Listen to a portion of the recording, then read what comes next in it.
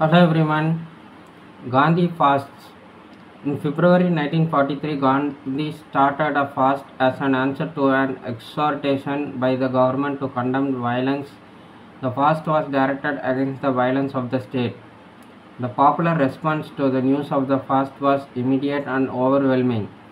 Protests were organized at home and abroad through hartals, demonstrations, and strikes. Three members of the Viceroy's Executive Council resigned. The fast achieved the following public morale was raised, anti British feeling was heightened, an opportunity was provided for political activity. Government's high handedness was exposed. Gandhi got better of his opponents and refused to oblige by dying. On March 23, 1943, Pakistan Day was observed. Like, share, and subscribe to support the channel. Thank you. Bye.